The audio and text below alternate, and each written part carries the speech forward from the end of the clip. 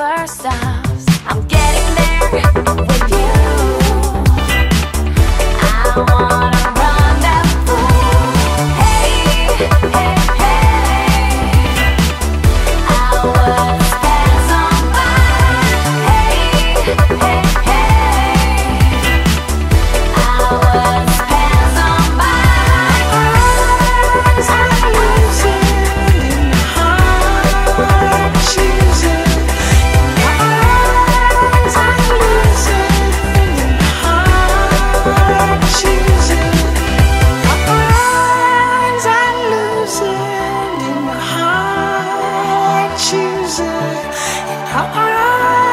I lose it and how I choose it.